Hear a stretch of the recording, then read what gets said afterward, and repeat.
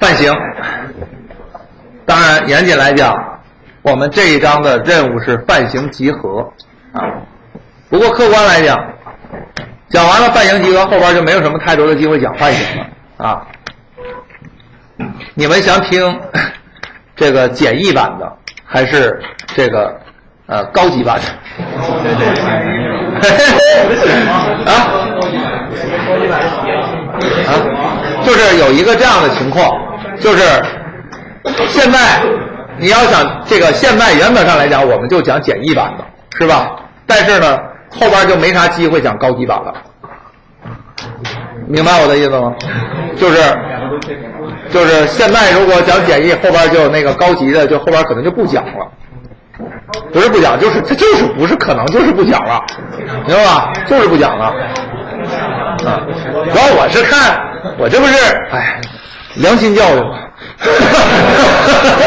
对吧？你看我这这这让你们选啊，简易版的我跟你说，给我十分钟我就能说完了，特别简易，特别简单啊，一听就会，一想就明白了啊。先说简易的，先说简易的，完了试试试水，是吧？啊，先试试水，看看怎么样，完了再听个高级的，是吧？哎，行，好，你们先听听看吧。啊，哎呀，这听着说这话好像是吧？这不这太好揣摩，这到底是咋回事啊？那我就开始了，半形集合啊。啊，我录上了。好，半形集合，给个概念，参数化类型，类型安全的集合。好。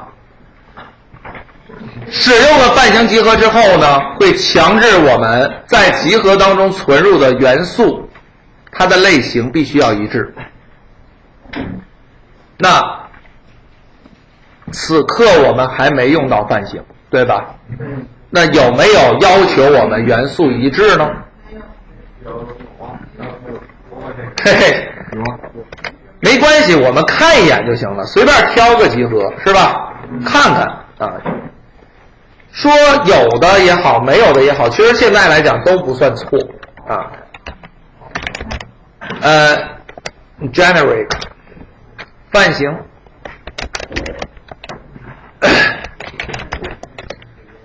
generic collection 啊，泛型集合呀。我们呢就用一个比较熟识的了，是吧？array list，new array list。导包，然后 添加元素。现在呢，你往里加内容，比如说我添加个十，可以的。十点零呢，也行，对吧？Hello 也行，哎呦，A 也行，True 也行，看到了吧？嗯为什么呢？你看这方法就能看得出来，它需要的参数叫做 object。换句话说，这个方法的形参是个最高顶级的父类类型。你赋什么子类进去，它都是多态，它都允许，对不对？那你说都允许，这是好事儿啊，这不是大而全的融合了吗？不过在解决计划问题的时候，可能就麻烦了。比如说，我想统计现在集合当中的总和，可以了。我们上一个案例也是这么写的，对不对？那你一定应该能想象得到，它会有什么问题呢？你说我这里。每次拿出来的东西，我是要和一个 double 类型的 sum 做相加的，对吧？我是不是得强转成 sum 这个这个 double 啊？那我 list 的点 get i，你告诉我，真正能转型成功的是所有吗？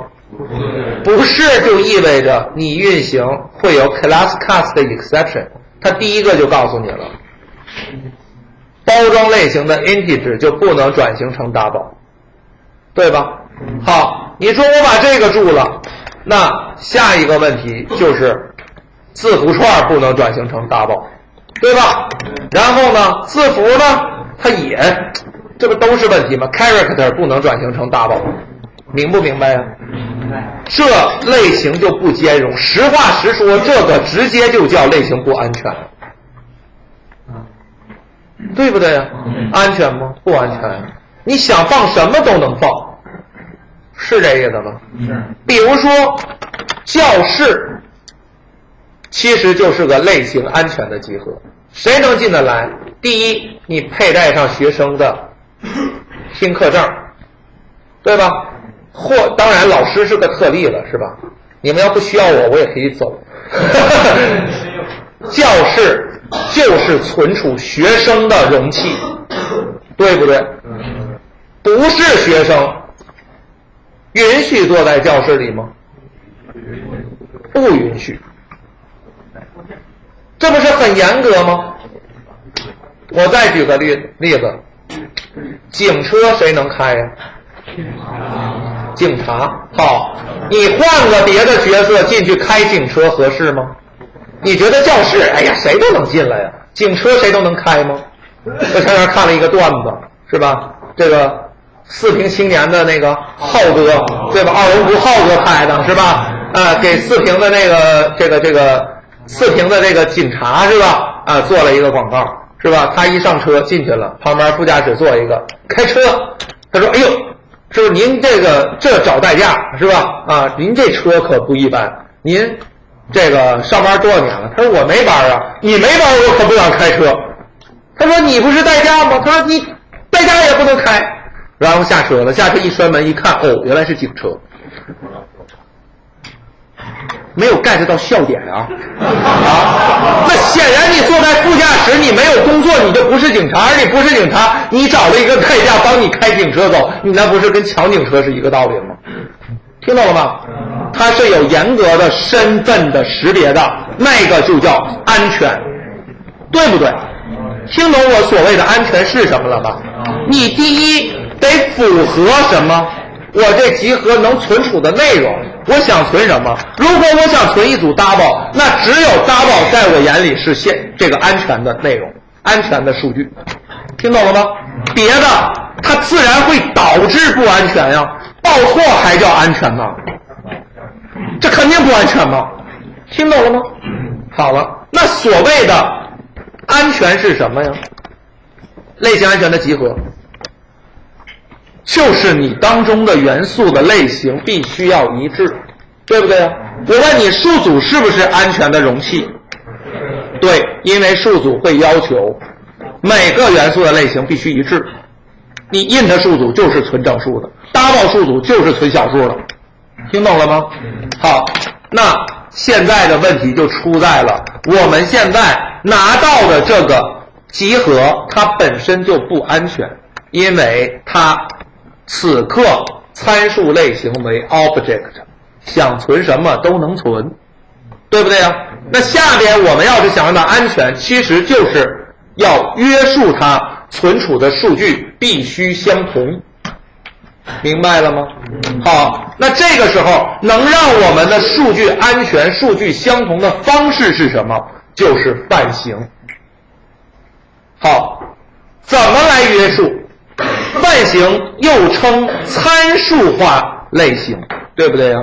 实质上就是在你创建这个数组的时候，或者创建数组对象的时候，来告知它将来它需要存储的类型是什么。听懂了吗？在这儿加上一个尖括号，六的时候数据类型的后边看到了吧？尖括号里写上类型，注意写的是类型。你将来想存一组 double，你就写上 double，但是有个前提，它必须是对象。你写小 double 这儿不行，听懂了吧？那这儿必须得是大 double，可以了吗？好。当我写成了这个样子之后呢，我再运行这段程序，你会发现还有问题。问题出在哪儿呢？问题不是这个空间这个对象所持有的那个空间产生了问题，而是你这个引用，你现在的这个引用没有加泛型，对不对？所以通过你这个引用去访问这块空间时，它对应的方法的参数还是 object，那么就意味着，如果我想要安全的，不光是空间的约束，引用也要约束，听懂了吗？好，怎么约束也是一样，在类型的后边加尖括号，给到目标类型。好，当你写成这样。首先你会发现很多编译错误就产生了，而这个有错吗？没有。为什么它没有错？你注意一下，当你调用爱的方法时，看到了吗？原来那个 object 的参数就变成了 double，明白这个意思吗？哎，好了吗？那既然你此刻调的 add 方法唯一的一个 add 方法，它的参数是 double 类型，自然就意味着这些方法，这些方法的调用就产生了问题，类型不一致吧？对不对啊？通过很简单的方式，就我们就把它排除在外了。那这些你都不能写，那是不是通过我这个 list 的 add 方法添加进去的内容，它就必须都得是 double？对吧？而如果要都是 double 了，那我问你，你从里边取出来的每一个，它能是什么类型？double。那这个时候你会发现，get 方法的返回值也变化了，变成了什么？double，还是 object 吗？不是。那既然是 double，貌似我这儿都不用再做转型了，明白了吗？哎，好了，泛型集合。参数化类型在创建集合的时候，规范当中能存储的数据的类型是什么？当你规范好了，你会发现所有与之相关的方法的这个环节，什么环节？就是原来所有你看到有 e 来标识的这些环节，就全跟着变。比如说在这儿。我们 list 是不是有一个尖括号 e 呀？这个 e 到底是什么？其实就是一个类型的占位符，将来它可以是任意的一个类型。这个类型你在哪儿指明？在这儿和这里，听懂了吗？你说它是 double，好了，那这个 e 代表的就是 double，对不对啊？那这个 e 在你后续的所有的方法当中可能都出现过，比如说在这儿。这儿是不是就是 e 呀？你没有用泛型时，e 代表什么？object。如果你告诉我现在的 e 是 double，那这儿就变成了爱的方法需要一个 double 参数，对吗？那同时这儿是不是也是？对吧？还有哪儿？返回值看到了吗？当你调 get 的方法时，返回值是 e，那 e 是谁？此时 e 是 double，对不对？听懂我的意思了吗？那实质上我们说泛型就是在你定义这个类或者接口的时候，往里面放了一个占位符，对吧？然后你来表示这个占位符的含义，将来在哪儿用作参数，用作返回值。而未来有人创建你这个类的对象的时候，自然就要给你一个对应的泛型类型。那么此时所有的 e 都变成了目标类型。明白了吗？嗯，好了吗？泛型集合。哎呦，哎呦，这个顺序这么尴尬吗？好，那我就这么产生。哎呦，我的天哪，这是个什么顺序啊？啊？现改。好，我把这儿稍事的改动一下。第一句是谁？编译时是吧？他是第一句。然后呢？呃，访问时它是第二个，哎，来，我们再来欣赏一下这个动画效果啊。编译时即可检查，而非运行时抛出异常，对吧？哎，你加了泛型之后，编译就有报错了。原来你不加泛型呢，反正对不对你都存进去了，你运行 class cast 的 exception，对不对啊？哎，好，所以编译就能帮我们检查不合法的数据不能存。接着。访问时也就不必再做转型，不必再做拆箱了，用着方便了，是吧？再接着，哎，这句话的意思其实就比较这个不重要啊。不同范型之间引用不能直接这个相互复制，范型不存在多态，指的是这个意思。你说，哎呀，我为了能用起来更方便，老师我这么写，这个范型我用 object 啊，叫 mylist。下边呢，我 new 的 arraylist，哎呀，我想到了什么呢？integer 是 object 的子类呀。那我这么写，这两个不就是泛型？呃，这两个不就是多态吗？不对，听懂吗？不对，这不可能这么写。为什么呀？这是你将来的存储空间，只接受什么 integer。如果你这儿是泛型，啊，不是你这是多态的泛型，那就有个问题了。我将来用它一调方法的时候，一定是 object 的参数。我存了个 double，你把一个 double 值非要让我往一个整数空间存，我能做到吗？不有那句话吗？臣妾做不到啊，是吧？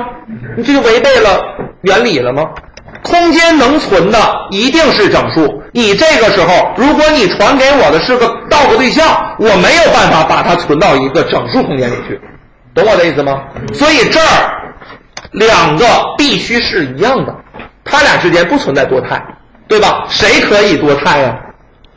比如说，它俩都是 integer，谁可以多态？指的是对象和引用可以多态。这边 arrays 的，这边用 list 的行不行？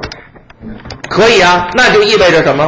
你将来你在这边通过 mylist 的引用调的方法调不了子类独有，对不对啊？这可以，但是尖括号里边的泛型必须一致，能记住吗？他俩没多态啊，哎。这块儿就不要展开思想了，说，哎呀，放飞了思想，哎呀，我能不能这么尝试？不行，对吧？你这个思想在展开之后，马上要思考一下，它不合理、不成立，懂了吗？好，范型我们就讲完了。嘿嘿嘿，哎，范型很简单吧？好，我问问各位，如果 list 这个接口当中就能有范型，是不是意味着 ArrayList 和 Vector 和 Linked List 就都有这个半型？当然，我还告诉你，这个 List 的范型还真不是 List 的定义的，它的 Collection 副接口就定义了。那是不是我可以认为 Collection 下的所有体系集合都支持范型，都可以规范类型、参数化类型、类型安全？听懂了吗？你要注意的是，接口当中定义了范型，子接口实现类就必须支持，可以吗？啊，当然也不能说必须支持啊，这话说的不严谨啊。多数来讲，你定义范型不就是为了用吗？对吧？基于有用才支持，当然也有个别情况下还真就没有啊。所以话不能说死了啊，就百分之九十五吧啊，都是有的啊。接口定义了。实现类都支持范型。好了，那么无论是我们的这个 ArrayList 是吧，还是我们的这个 Vector 是吧？我再定一个 Vector，比如说 Vector 这里边用到的是 String，哎，好，未来你存一组 String 类型的字符串，打包啊。是可以的。那你再用 vector 的 add 方法时，你看参数都是 string 的，没错吧？哎，好。再有，呃，linked list，对吧？我再来一个，比如说这个是 boolean 吧，当然没这个价值是吧？啊，bols 等于又一个 linked list boolean，那里边只能存什么？布尔类型是吧？哎。你调 add，你看，你要么就纯 true，要么就纯 false，当然没啥意思，是吧？哎，不过你也知道，他他他就就就这么就是这么做的，就是这么回事儿，是吧？哎，听懂了吧？哎，那我要求各位，从今天开始，你用到的所有的泛型都必须啊，所有的集合都必须是泛型集合，没什么问题吧？哎，好了，基本版我们就讲完了。其实这个也就是对于泛型集合的一个底线了，你必须要掌握的啊。那么再往下说呢，可能我们就要多说两句了啊。说个高级的，你能听懂多少你就听懂多少，是吧？不强求啊，随缘。别紧张啊。高级泛型啊，呃，generic 啊，generic 是吧？好，刚才那个泛型是咋回事呢？我这儿有个类叫 my class，人家定义一个类的时候怎么加泛型？其实特别简单，就在这儿加，这就加好了，看懂了吧？定义类的时候，当然接口行不行呢？也可以吧？啊，不对，interface，比如说 my interface，对吧？好，我也加了尖括号，这儿我也写个 e，一样的，对吧？当然，这儿你非得写 e 吗？不是的，e 代表什么呢？element，听懂了？好了，那么将来我们还有 t 呢？t 可以代表 type，对吧？当然，e 它不光不单单是 element。在后续的 GDK 八更更好靠后的版本当中，它还可以代表 exception，明白吧？哎，好了，当然还有 k 呢，k 代表什么呢？代表 key，然后 v 代表 value，其实就是一些自定义的名词。我你要不爱用，你就用 a b c d，没人管你，你用 a a a 也行，听懂了吧？哎，我这个叫 my element，随便叫啥都行，反正它就是个占位符嘛。听懂了吧？好，我这儿呢叫它 e 了，是吧？那这个呢，我甚至叫它 t 了，都可以。这个 e 和 t 你经常能看得到，嗯，看你 API 文档当中经常有 e 呀 t 呀，对吧？包括我们下一次课再讲 Mac 集合的时候，k 和 v 你也频繁可见了，好吧？行了。这个泛型类、泛型接口我就定义好了。我们以类为例啊，说类的事儿。好，这个半形在什么地方给它指明呢？现在只是定义，对不对呀？哎，定义完了呢，你将来可以用它。怎么用？比如说我这有个方法，这个方法叫 M 一。好，我把 E 作为参数，可以吧？那现在你要想明确说这个 E。可以是个整数类型，integer 类型。你在哪儿指定？你得创建对象，听懂了吗？哎，好了，my class 给个泛型 integer，好，mc 等于 new my class integer，可以吧？哎，好了，那么这就表示我的。此刻的这个 my class 的其中一个对象，它的泛型是 integer，对吧？那我这 mc 调用刚才那个 m 一方法时，是不是就传整数啊？可以吧？那我问你，我再创建个对象，是不是我再去指明一个泛型啊？听懂了吗？这叫实例泛型。m 一，你看它的参数就是 double 的，懂了吗？哎，那这个接口当中的泛型也是实例的，明白我的意思吗？好，那接口当中的泛型怎么用啊？你不得定义抽象方法吗？对吧？比如说 M 二，好，泛型我用 T T，那这个时候是不是就得有个实现类啊？对吧？好，class 我这个叫做 my IMPL class，实现了这个叫做 my interface 这个接口，对吧？但是你注意，人家是不是要求你实现覆盖方法呀？好，你这一覆盖方法，哎，在这儿啊，你这一覆盖方法，注意了，体现出泛型了吗？没有，为什么？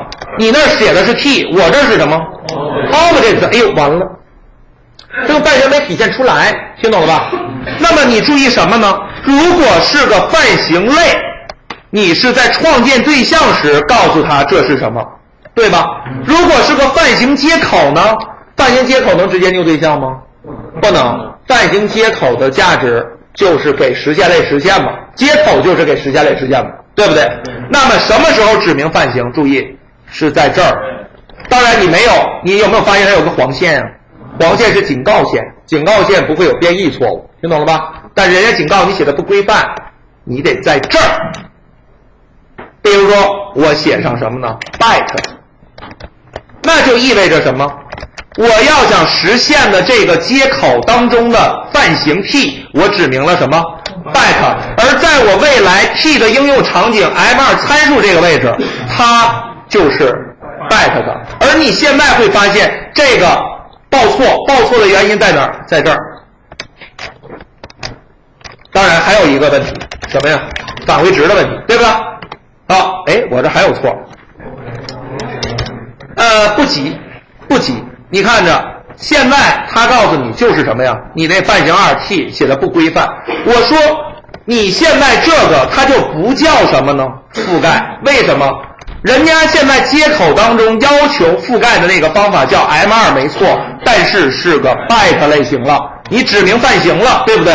所以这个是不对的。那他提示你，你没有覆盖那个方法，你注意看，你再一点，是不是人家认为这才是标准方法？而这个呢，那就错了呗，听懂了吧？那错了，它也不是覆盖的人家的这个这个方法，听懂了吧？所以这个你得删了。那你就明确了，如果是泛型类，你是在创建对象时为它指明；如果是泛型接口，你是在实现接口时为它指明。听懂了吗？哎，好了，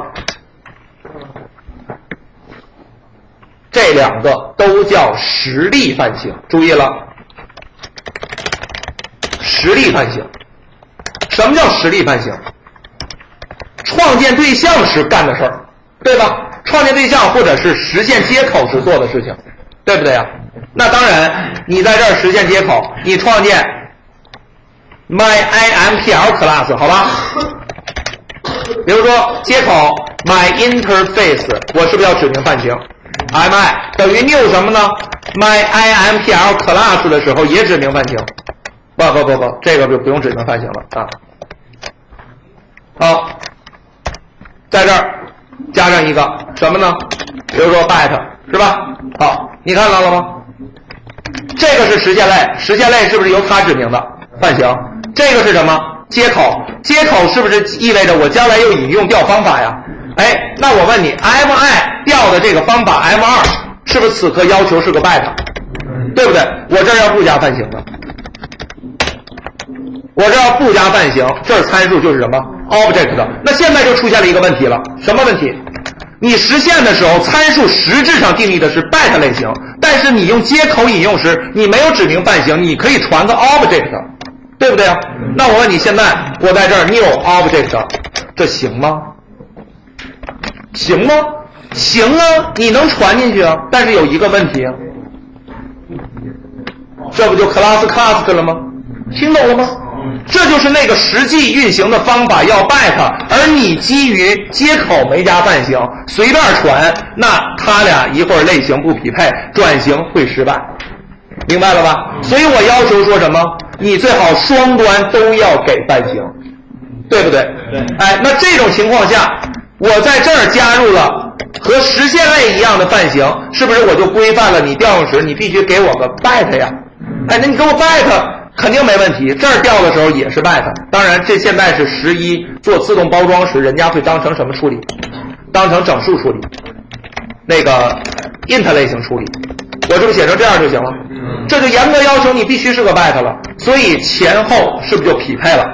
而对这种情况来讲，前后匹配都直接写出来了，因为你用的是泛型类，对吧？而这种是不是泛型接口的实现类啊？那实现类是不是在这儿写过了？所以你这儿可以省略，这儿必须得写，对不对啊？那当然，你说这要不要再写一遍？没有必要，也不应该。如果这儿还要再写，那一定意味着这个类就如同它一样，是不是在这儿也加了尖括号？听懂了吗？好了，说到这儿，这些都称为实例泛型，没问题吧？什么时候来指明 e 或者 t 的含义呢？得创建对象或者实现接口，对不对？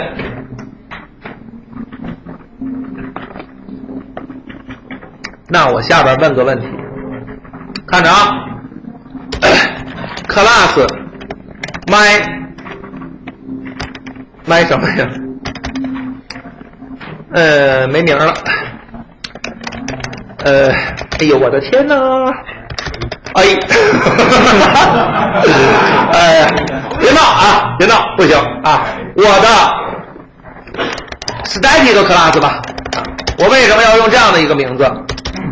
你看着，现在它有一个静态方法，method，可以吧？嗯好，那下边如果我在这儿指明范型 e，你说我在这儿用它，哎，你会发现它好像报了个错，看到了吗？这叫什么？静态方法不能引用非静态成员，对不对呀、我刚才不是说了吗？这个是实例的，什么时候它能体现出它的价值？谬对象的时候，你才为 e 赋了个值，知道了 e 到底是什么类型。而我静态方法很显然是在可以在创建对象前调用的，那这个 e 就是实例范型，对吧？而我现在这个静态方法能用实例范型吗？那我就不能用范型了吗？我还能不能用范型？不能了，听懂了吗？不能了，不能用了，这麻烦了。不能用范型，我这方法呀，想灵活。我服务 a 的时候，它就是整数 integer；我服务 b 的时候，它就应该是 double。听懂了吧？而你对这样的一个静态方法的调用，不就是类名点儿 method 的吗？是这意思吧？好，这个我们暂时不考虑了。现在是不是可以调用啊？我需要的是什么？第一个人如果用我的时候，他说我这里传了一个一百二十三，那就意味着将来不是将来，就是我这次的参数就应该是 integer。如果下一个人再调我传的是三点五，那此刻我能接收的参数一定是 double。我想要这个，明白我的意思吗？那这个时候就有个问题了，什么问题？你不是在创建对象时完成的这个表示，对吧？那你怎么来明确它到底需要什么呢？是这意思吧？嗯。而且每一次调用的时候还应该有个不一样的结果。看着，我会这么做，还是加泛型，不过这个不叫实例泛型，你用不上了，是静态泛型。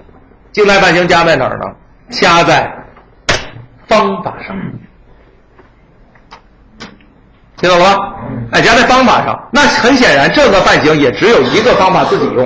我这一个类里边有三个静态方法，我加范型，是不是这三个都不一样呢？共用不了，听懂了吧？一个方法内部怎么用？在这儿写尖括号，你写 e 也行，你写 t 也行，你写什么都行，反正我写好了，看懂了吧？接着呢，我要参数是吧？好，t，这俩都过了，看懂了吗？好，那你注意上面的这个方法看到了吗？参数是什么？integer。下面这个方法呢？大宝，明白了吗？所以我们说这叫静态范型。静态范型是加在方法上的，伴随静态方法调用，就等同于为它赋了一次值。你传什么参数，它就是什么值。明白这意思了吗？好了，那么这个东西有用吗？实质上没用。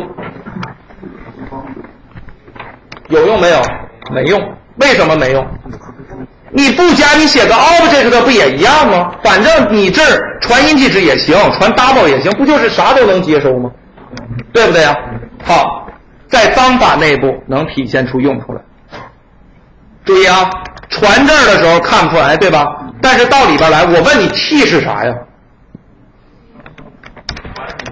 ？t get class 行吧？我一调这方法是不是要打印一个一句话呀？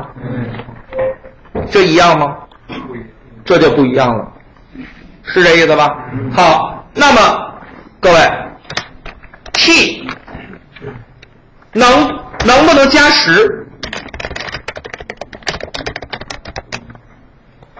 能不能加十？你看现在有个问题，人家说了，你这个 t 怎么着啊？现在是一个表达式，是一个没定义的参数 type s t 是和 int 是吧？好，你现在加不了。不过呢，t 它有方法吧？看到了吧？好，现在这些方法是不是一个还是一个引用类型的方法？但是你知道它里边存储的实际是什么？实际是啥呀？实际，完了懵了。这实际是个整数嘛？这实际是个小数嘛？虽然你不能直接加，但是你是不是也可以获取啊？对不对呀？哎，那么下边你要做的操作就是，你可以做向下转型，你也可以做整数的操作，是这意思吧？好像实话实说，好像和 object 的没什么大区别，用法，对不对呀？那好了，你也可以当它没用。行吧，又说了一个没用的，是吧？哎，那我再说个有用的，听着啊，我再说个有用的。我现在要求，要求什么呢？你这儿再传，你能不能传字符串？可以的，是吧？那泛型自然就变成了什么？四质类型，对不对？好，我现在的要求是我这个方法只服务于数字。听着，我这个方法只服务于数字，什么意思？数字有几个呀？八个，八个，六个包装类是吧？big decimal 是不是数字？它为什么叫数字？因为它是 number 的子类啊。对不对？那六个为什么叫数字？不也是 number 的子类吗？还有一个 big int，咱们没讲是吧？那个倍儿简单，你看一眼就会了。实质上，number 有八个子类，对吧？那我说我这方法只服务于数字，是不是只接收这八个类型？而你现在能控制吗？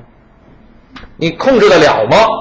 你控制不了。你现在加这个泛型，实质上跟写上 object 没有任何区别，对不对？那下边我就，哎，注意。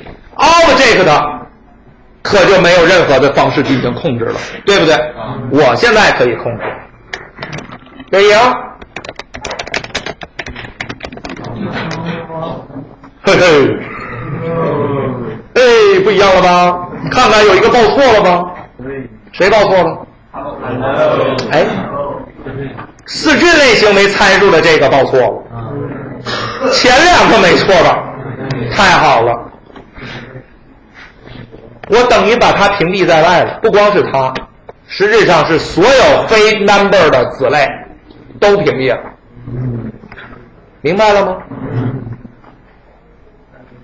好，那我换一个，你看着啊，animal，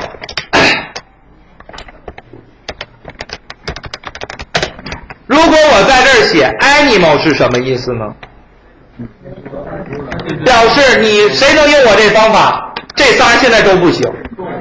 所有的动物可以，要么就是 animal 这个类型，要么就是它的子类类型。但是 animal 作为父类，我要是写成抽象的，它也就没有类型了，是这意思吧？好，再接着呢，class dog 继承 animal，class cat 继承 animal，没错吧？好，接着。我调用方法 my static class 调用 method 的方法，这个时候我传个 new dog，再传个 new cat，是不是都可以呀？前面三个错了，不让调，后边这俩可以，因为人家限制了，必须是什么 animal。这个作用是不是达到了？好，我告诉你，这个还是太宽泛。为什么？我将来我这个方法可能用作排序，我传入的可能不是个 t，而是个 t 数组。你给我一组 dog，一组 cat，都没有问题，听懂了吗？嗯。那我将来要用排序的话，我是不是得有个要求？这个动物得是可排序的。是不是？这或者不是动物，就这个对象，你接收的这个一组 T，它是不是得是可排的呀？当然，我这先省略了，好吧？我就说明什么问题？你现在光是 animal 的子类不行，我还得有个要求叫可排序。什么叫可排序的？项能不能排序是谁决定的？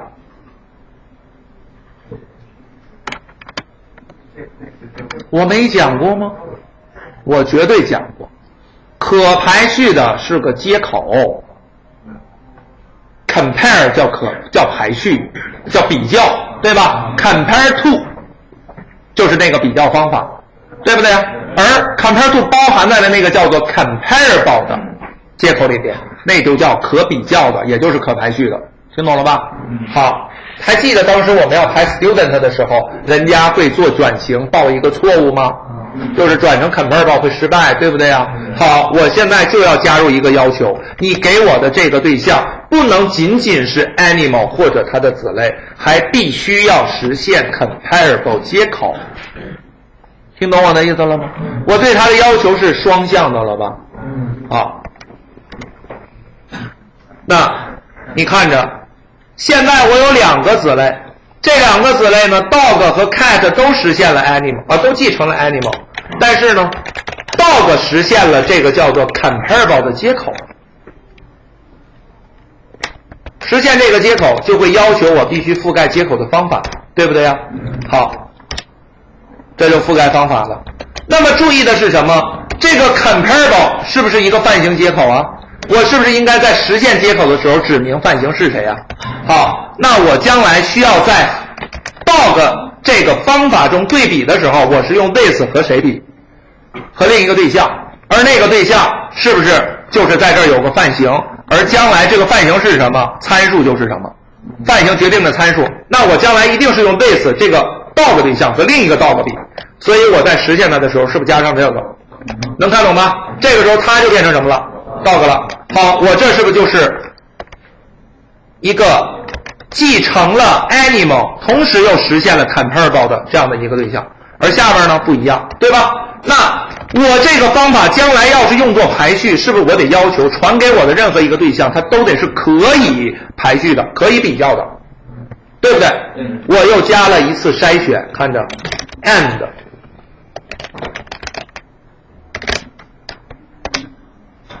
看这儿吧，看到了吗？当然，这儿你要不要写成泛型？其实不需要了，就写成 comparable 就行了。你再看这俩，是不是又变了？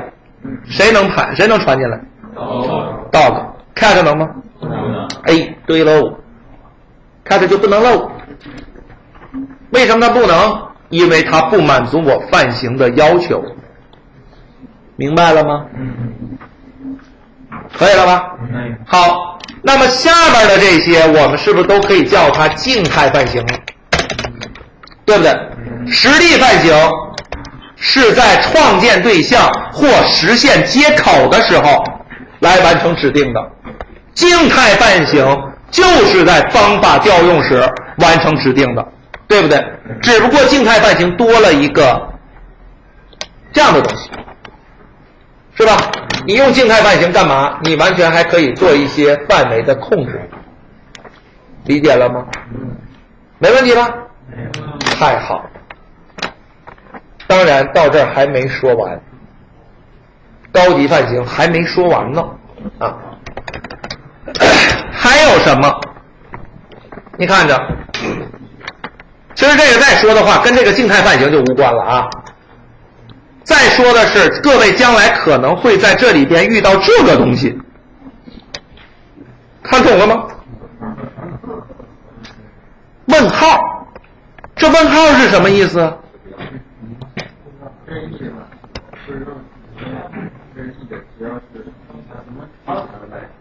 你看这个吧，这是不是也写着是问号啊？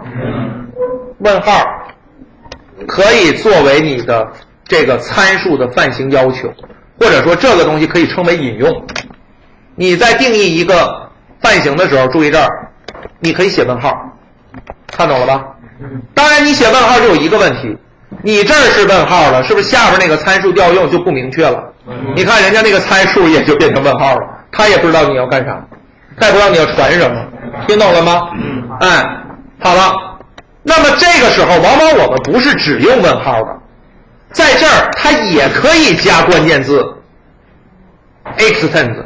就换句话说，将来你给我一个 my class，对吧？我会要求你这个 my class 的泛型是什么呢？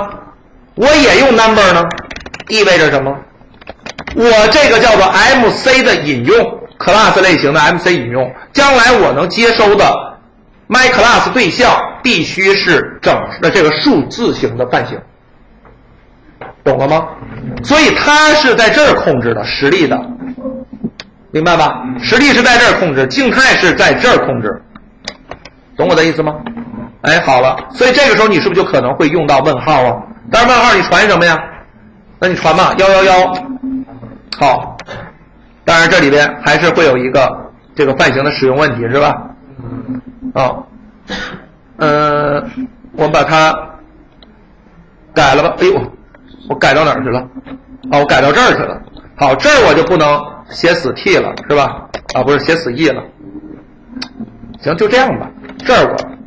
不用问号了，我这儿还不不不用问号还不行，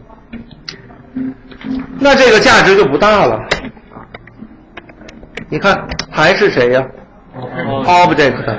哦，我知道了，我刚才啊，我刚给这参数不对，它没有帮我做自动的装箱啊。要什么方法来着？呃，哪个方法？M 一是吧？哎，对，M 一。好，你看。现在 now 是可以的，对不对啊？然后呢，我这么做吧，一二三，哎呦，这行也不成了，还是告诉我这个泛型参数的问题。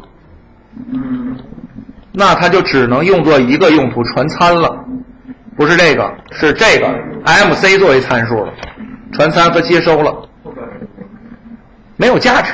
实质上这么用是不是没有什么价值？好，我把它改回成什么呢？integer。这儿我就不改了，行吧？哎，这儿我就不改了，实质上没什么价值啊。好了，再看，我还是调那个 M 一方法，这回是明确的，对吧？哎，至于说这儿你传的值，将来我们甚至都可以这样，就是 GTK 八之后，你都可以把这边也不一定非得 GTK 八。这边省略了，你看，这都是可以的，而谁不能省？这边的，这边的必须得明确一些。为什么呢？因为你它决定了你后边的泛型参数的类型嘛，对吧？所以你这儿都可以完全做推导了，因为你前面这儿 integer，后边这肯定也是 integer。换句话说，你往这里存的时候，是不是前面存的就是整数，你后边也就没有限制，明白吧？好，可以了。这个是静态的，是吧？上面这个是实例的，两个啊，两个，有问题吗？哎，好了，那没有问题的话呢，实质上你再去看你现在 API 当中的内容，有一些你就可以看懂了。刚才我那个是真正赋值，这个你是不是就可以这么写啊？对吧？你看人家是不是都主要用在了参数上啊？因为我那个实例变量，我会调它里边的方法，对不对？哎，所以他给我报了一个这个还是不兼容的这个类型啊。还有什么方法呢？有没有看到？呃，比如说这个，我们就以这为例了。它的意思是什么呀？e 是不是你将来创建对象的时候要给一个值？比如说我给的是 animal a。那么就意味着，现在你要是传给我的这个 collection，它首先是个泛型的。那泛型的什么泛型？什么泛型？必须是 animal 的子类，是这意思吧？哎，那你给我的这个集合必须是一个 animal 的子类的泛型集合，才能承认为我当前方法的参数。其实也是加入了一些限制，可以了吗？哎，好了，还有什么特殊的吗？暂时就看不见了，是吧？哎，没有，暂时没有，是不是看到 T 呀，或者是 KV 对吧？KV 相关的，在这儿，这是不是有 KV 呀？哎，你往下找，实质上还是这个问题，什么问题？就是 K 代表一个值，V 代表另一个值。行了吧？创建的时候为这两个泛型指明就可以了。好了，泛型 有问题吗？那现在我们用的是哪个？啊，我们现在用哪个范型？实例范型。你的集合用的是哪个范型啊？不就是实例范型吗？对不对啊？哎，集合用的就是实例范型嘛。行了，静态的范型这个东西，你将来可能会在追源码的时候看到，看到了别奇怪，好吧？对于它的这个系的赋值，不能在创建对象时完成，只有在方法调用时给予。可以了，这我就不说了，好吧？这儿呢，这几行我注掉，因为它不能编译通过，是吧？这行我也注掉，就保留这一个，它比较符合刚才我们下述的这个需求。得了，范型也就说完了。今天呢，还有最后一个内容。哎，这个动画也好尴尬呀，就甭加动画了吧。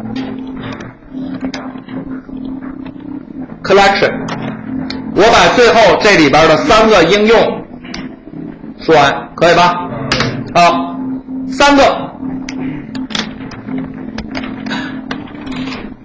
首先看这儿，Collections，这个是个带有 s 的。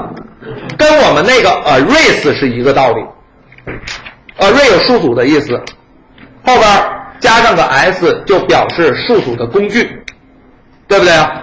那么 collections 是在 collection 后边加了个 s，代表的就是 collections 体啊 collection 这个体系的集合的工具，听懂了吗？它服务于什么？你像看到这儿了吗？是不是服务于 list 呀？对不对啊？哎，好。定义了除了存取以外的集合的常用方法，所以常见的方法、工具方法这里有啊，这里有啊，存取的那些方法是不是都在集合本身这儿？哎，好了，我们看看这里边的几个方法都有什么。首先第一个叫做 reverse，reverse 就是反转，加一个新的来。test collections 是吧？啊，当然，我应该先看一下我们的这个工具类啊，它是个类，所以呢，你得在这儿找 collections，往下找，你看这里方法其实是挺多的，是吧？都是服务于我们集合的，有一些我们现在就可以用，像这儿 shuffle。和刚刚我们说的，比如说 sort，还有什么呢？还有 reverse 是吧？reverse 最简单了，到这儿来点进来看看。好，静态方法，通过类名调，然后传一个 list 进去，这儿是不是就可以用到问号了？哎，参数这儿用就行了啊。你这儿用问号，哎呦，点错了。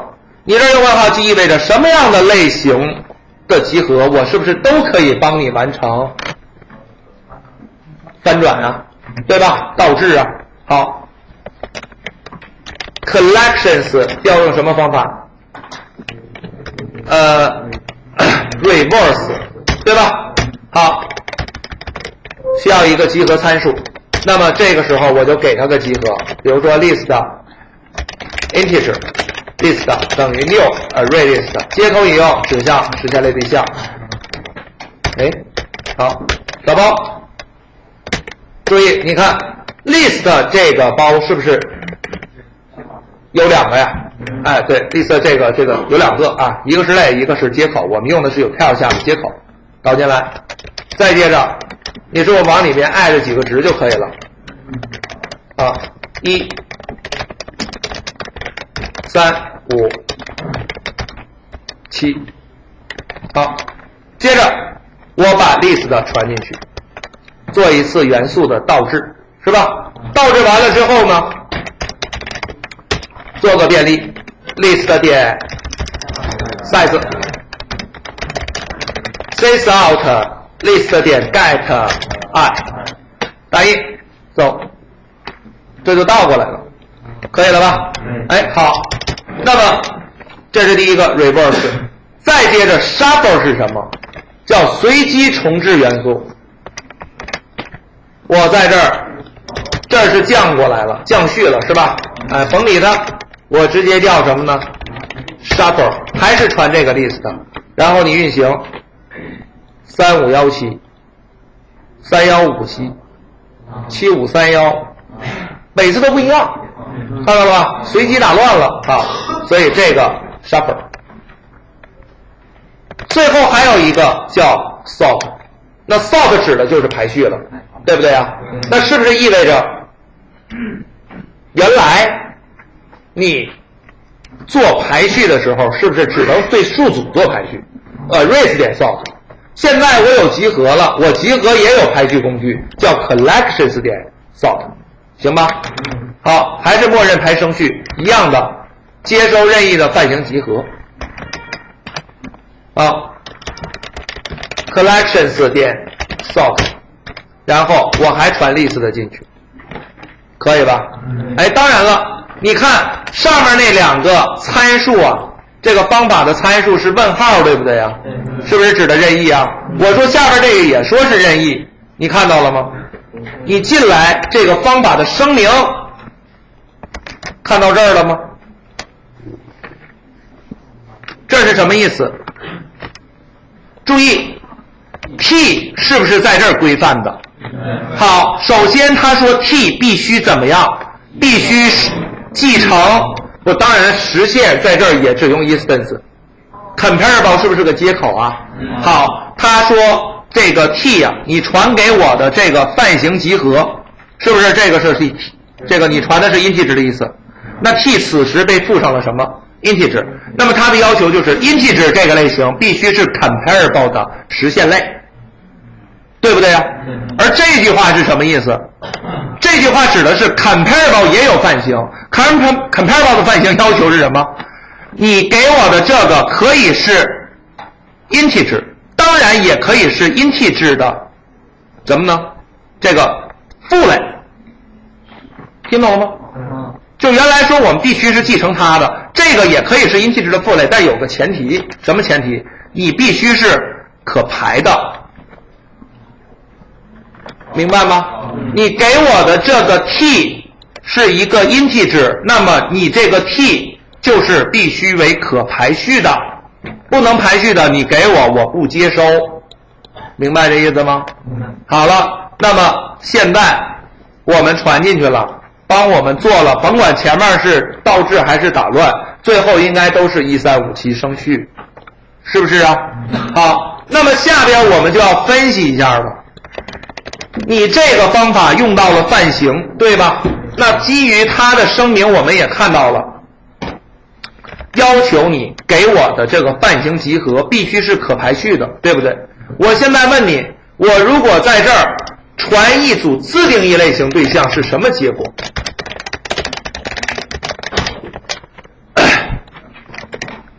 好，我这儿呢，甭在这儿改了，是吧？我下边在这里 collections 点 sort，然后呢，我这有个 list student，sqs 等于 new array list student，sqs 点 add new student，这是不是放了一个呀？当然我还没加构造方法，是吧？没关系，注意了，现在你看，是不是也可以？啊，不对，不是在这儿啊，这就不对了。好，你看我放进去之后，现在你看，是不是它就会帮你做了这个 sort 的那个限制，对吧？它限制了什么？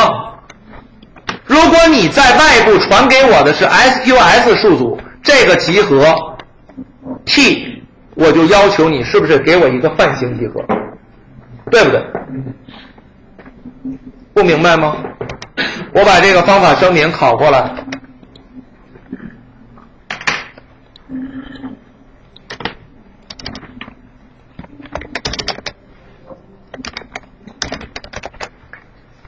你原来在这儿传谁？list，为什么 list 可以传过来成功啊？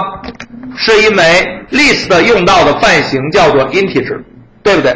为什么 integer 的泛型可以传进来？原因在于 integer 类型默认就实现了 comparable。你会不会发现整数上来就是可排序的？那整数为什么可排序？是因为整数实现了 comparable 接口，覆盖了 compare to 方法呀。看到了吗？它在这儿是不是就已经实现了这个接口？它已经在 compare 这个方法内部完成了比较，看到了吗？是不是俩值啊？一个前面的第一个，一个是第二个，这俩值是不是就默认比了一次？比完了给一个正负零，对不对？到这儿，哎，不对，不是到这儿了，哪儿叫这儿呢？正负零最后作为了什么？返回值。那么 compare to 方法返回负数，是不是表示 this 靠前，返回正数，this 靠后，返回零，二者相同啊？所以你会发现，你传一组整数进去，它本身就是可排的，因为人家默认就已经实现了接口了，对不对？那我问你，原来我们传过一组字符串进去，对不对？那为什么字符串也可以作为你的参数呢？是因为字符串它也实现了可排序，整数是自然排序，字符串是字典排序。这个 compare to 方法早被人家实现好了，对不对？而你现在呢？你要传一组学生进去，学生可排序可比较吗？不可以，为什么？因为没有实现 compare to 方法，就没有比较规则。你让我帮你排，我不知道规则是什么。两个学生往一块比，谁大谁小不清楚，听懂了吗？那么为什么我这个方法调用会失败呢？为什么呀？不就是因为？你现在给我的这个一组集合当中，它的范型赋给了 t 吗？对不对？而我对 t 有没有要求啊？我说 t 如果 t 此时是 student，t 必须实现 comparable 接口，但你没有，所以你报错。这不就是刚刚我讲的静态的范型吗？是不是？这行我注掉了。它一定是调 collections 下边的那个，对不对？所以报错了。那我要想通过它，很简单，我实现了这个 comparable 接口，对吧？表示我将来会两个学生一块比，并且覆盖了方法。你看，它不就通过了吗？而它通过的原因，不就是你给我的这个替范型，我是发现检查之后，它是个符合要求的。范型集合，听懂了吗？那我问你，如果这儿我写成问号是啥意思啊？我如果这儿写成问号，这儿我就可以就写个 t，或者我就写个问号，明白了吗？我不对你传入的这个范型有任何的要求，对不对？换句话说，你和范型可以是 object。也可以没有范型，默认是 object，或者是任何一个类型，明白了吗？嗯。好，那我问你，为什么人家在设计方法的时候，这两个方法它不限制泛型的类型呢？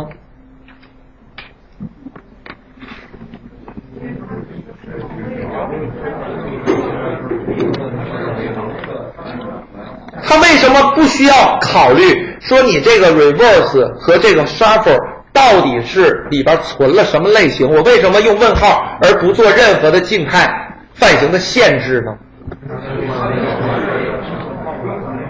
你想一想你就明白，其实跟范型有啥关系？你里边不就存了多个东西吗？你不就让我颠倒一下吗？那我就换一个位置就得了呗，下标零变下标四，下标二变下标三，完事儿。听懂我的意思了吗？我干嘛要纠结你里边非得存什么？是学生我帮你倒过来，不是学生不行；是整数我帮你倒过来，不是整数不行。有这个道理吗？没有必要。那 shuffle 就更没有必要了。我就是帮你随机打乱顺序，我跟你里边存了什么不关心。你里边存了四个学生，他打乱之后还是四个学生，对不对？但是为什么我对你的排序会有一个从问号变成了 t 这样的要求呢？因为你要让我帮你排序，我就得提出我方法的要求了，对不对？我这方法要求你必须得是可以比较的一组对象，我才能排呀，不然你难为我。听懂了吧？你给我放三空热水瓶，你让我帮你排什么呀？谁在前谁在后？我哪知道你是想要轻的在前，重的在后啊？还是新的在前，旧的在后啊？还是大的在前，小的在后啊？我不知道，听懂了吧？那你如果实现了 comparable，我是不是可以调你的 compare to 方法，知道了正数、负数？如果是负数，哦，当前这个在前面；如果是正数，当前这个就在后边。反正两两比较嘛，永远的比到两俩都比过呀，听懂了吧？嗯，理解了吗？那你将来什么时候用静态泛型啊？这种情况下，实质上你就可以省略不写，也代表问号，因为啥也不要，对不对？没有要求。这种情况下，貌似你就必须得写，对不对？这不就扣回了刚刚我们上一个案例吗？上一个案例，我为什么要写这个呀？我是对我的参数有要求啊！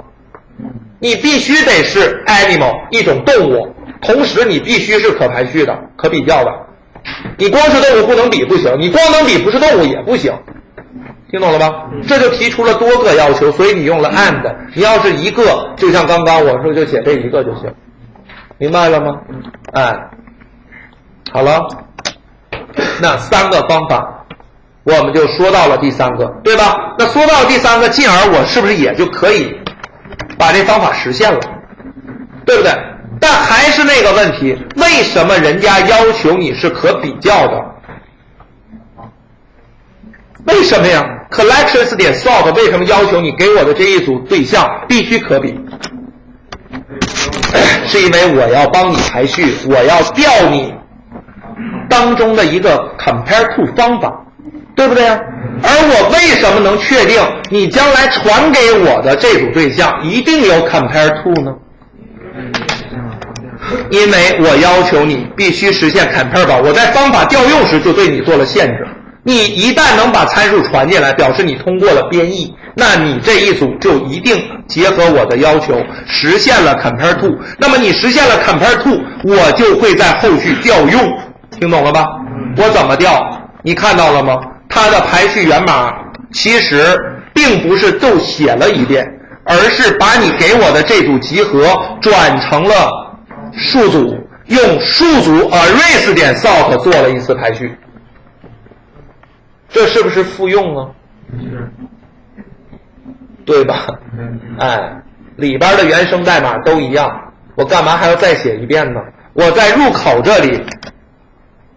做了限制，那能传过来的一定是一个可以调用那个方法，可以做转型，转型成 compare to 啊 comparable 调 compare to 方法的类型，那我就调你 arrays 的 sort 就搞定了，是吧？排完了之后，哎，我下边再帮你做一个所谓的这样的更迭，是吧？换一下位置，其实人家这个操作在干什么？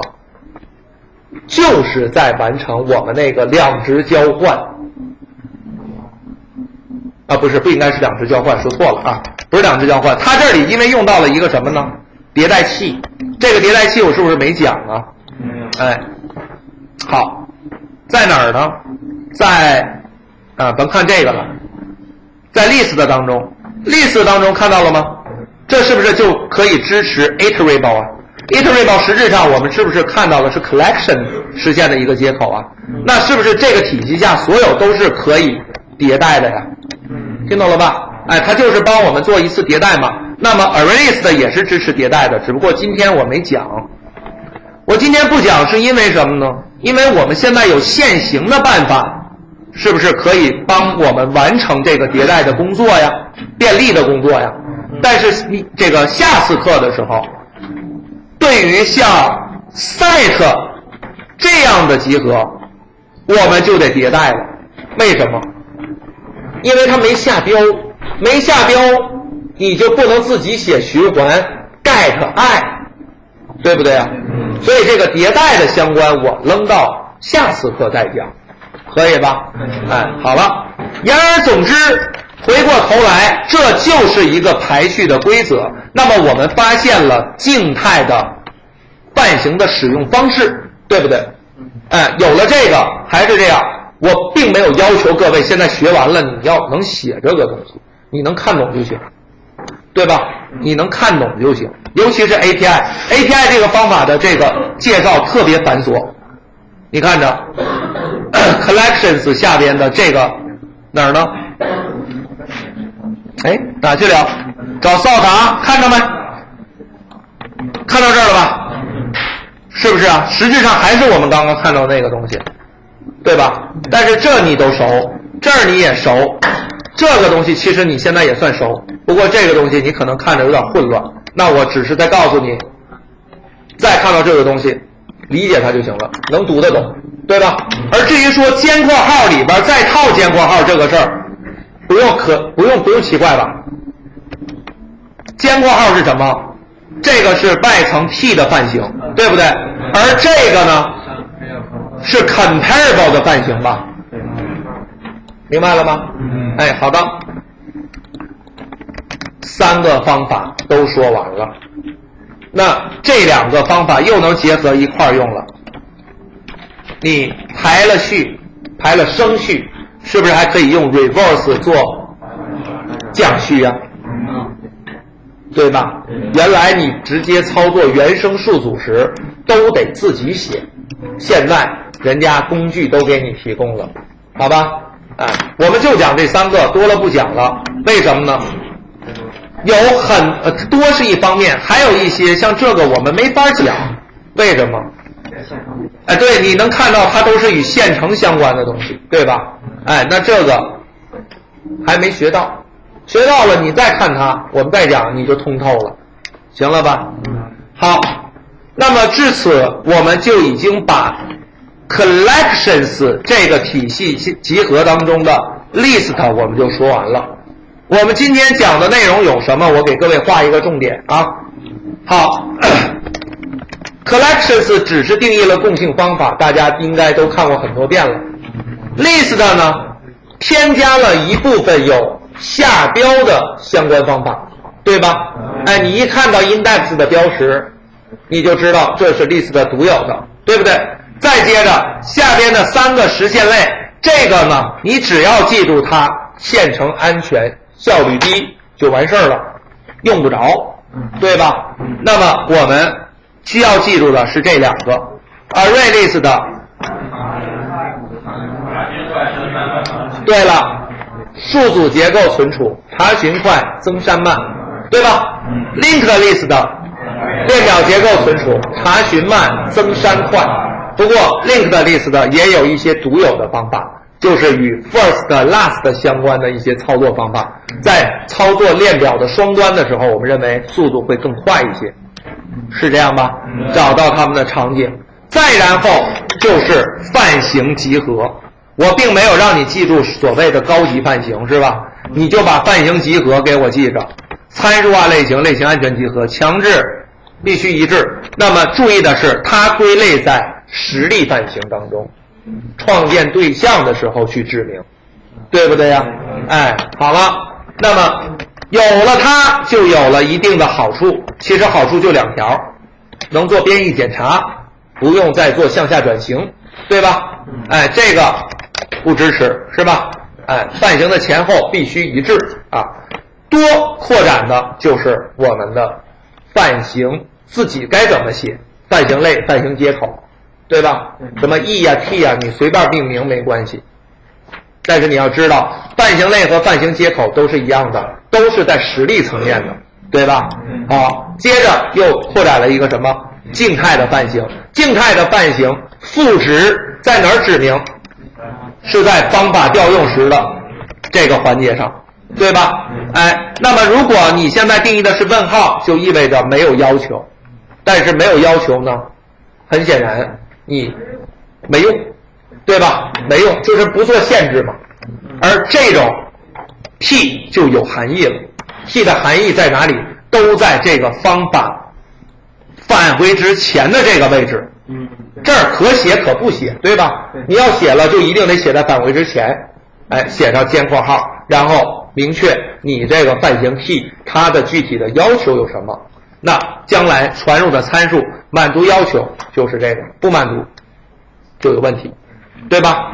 好，进而呢，这里边再一次体现到了一个概念，什么概念？叫接口回调。刚才我其实到这儿讲着讲着就跳过去了，是吧？我把这儿说完啊。collections 点 sort 是不是要对一组学生做排序啊？那我们说你进来之后，实质上在这儿并没有用到 comparable，而是在 arrays，也就是把这组学生转成对象数组，再调 arrays 的 sort 的时候进来，你才能在这儿又做了个判断，是吧？好，我们再找一找，向下满足，呃，这个走 else 是不是要 sort 呀？我看看这两个方法。啊，在这儿，这儿呢，这个是什么？这也是，你看它封装了 n 多层是吧？sort 里边还有 sort，这个 sort 应该指的就是它了，是吧？好，我必须要追到那行代码，哪行代码呢？呃，range 范围的 change 不是这个，然后 binary sort 也不是，没在这里吧？啊，哦，找到了，在这儿，看到了吗？它这里做的是相对复杂了一些，不过你是不是看到了？它需要帮你把你现在那个数组当中的每个元素做一个 comparable 的转型，对不对？转型完了之后，这个变量在这个位置会调 compare to 和另一个 A 数组当中的元素进行比较，对不对？那人家写的可能相对复杂了一些。而我们都应该知道，如果想要做排序，一定是可排的，那必须有这个方法，才能限定两个对象的规则，对不对？哎，那归根结底，回过头来，我们说你要做的事情是什么？就是在这儿决定这个规则是怎样的。那假设我们就以 age 为例，对吧？integer age。那当前对象 with 有 age，传过来的 o 那个学生是不是也有 age？那我们是不是就以它为排序规则？如果 age 比你大，那你就说吧，想让 this 靠前还是靠后？如果想靠后，是不表示小的靠前，大的靠后？那这就表示做什么排序呢？升序还是降序啊？升序呗。那升序 this 想靠后，那就 return 正数，可以是一，也可以是一百，对吧？那么 else if 呢？如果 this 点 age 小于 o 点 age，是吧？这种情况下，你比我怎么样？对方比我大，我小，那我靠，哎。我靠前，所以我靠前，我就返回一个负数，负数靠前，正数靠后嘛。啊，我返回负一百，行吧？如果二者都不满足，就表示咱俩一样，年龄一样，那相等，按照默认的顺序。如果你说咱俩年龄一样，还要分个高下，那你就再谈再排次要排序列，是这意思吧？如果次要排序列也相同，那你就次次要，你就第三列、第四列、第五列，反正。你非要分个高下，那你就把所有属性都比一遍，对吧？属性所有属性都比完了，那咱俩就看运气，看看谁的它是扣子大，对吧？那个东西是不是应该不一样啊？反正你最终非要分个高下的话，那你就找个依据比就得了，是这意思吧？嗯，所以我们说，你这儿自己写就行了。而将来人家一调你这方法，自然就能明白你传给我的这两个参数，比如说一个是十二。一个是十五，好了，按照我当前规则，我没有加那构造是吧？不理它啊。按照我当前规则进来之后，我这个集合就是两个，对不对？两个，当人家在第一个对象身上去调什么呢？compare to 的时候，是不是这个十二岁的对象就是 this，十五岁的对象就是 o？然后我比较之后，我的年龄比你大吗？发现不满足这个，走了这个。对吧？走了这个就意味着我比你小，好，this 我靠前，那么返回复数，是不是这十二岁的对象还在前面？对，没错吧？如果我这要是颠倒一下，这儿是小于，这儿是大于，或者把正数负数一换，那此时还是这个道理，两者一比，十二岁是 this，一比较调方法，然后我发现我的年龄比你小，好了，我要靠后，我是正数，大大大指，我要靠后，那是不是就你靠前，咱俩换位置？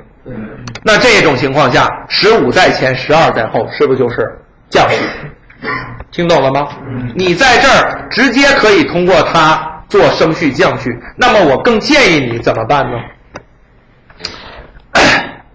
结合人家 sort 的默认规律，sort 默认排完了就应该是升序，对不对？那你是不是应该配合人家，迎合人家做升序啊？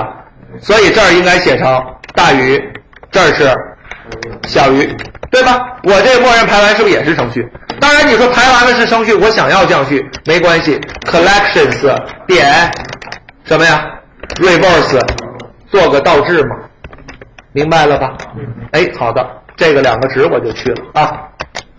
行了，这我就说完了。好，上面这儿这个我删了啊，因为有它刚才有这个这个错误，有问题吗？有问题吗？没有。好，半形难吗？难不难？好，难呀，难也好办，不难也好，不难那你就不难，那就对了，不难就学会了呗，是吧？你要觉得难，把把什么呢？把刚刚我讲的这个你就可以忘了。实话实说，把这个就可以忘了。那底线在哪儿？你要记住什么？没事儿，你忘了你也真忘不了。你以为你真能忘啊？想多了。你后边天天看这个东西，你还能忘吗？我没有要求你会用，听懂了吧？我要求你现在会看，你看的多，你就会用了，对不对啊？那么我说你忘了，可以，这个你可以忘，但是你要记住什么？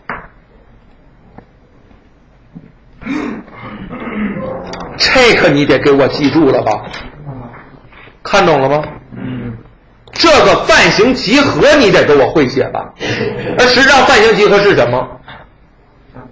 就是在你创建集合对象的时候，是不是前后端的类型上要给到一个具体的数据类型，进而来约束这个集合能存什么？这个东西没问题吧？啊，你要说这个还难，那你就可以收拾收拾去世了啊，是吧？啊，这就太简单了吧，一句话的事儿吧。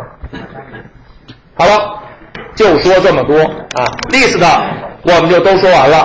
那么下次课我们会去讲 set 以及另一个分支 map，提前做好有效的预习，可以吧？哎，因为明天是周四嘛，是吧？哎，做好有效预习，行了。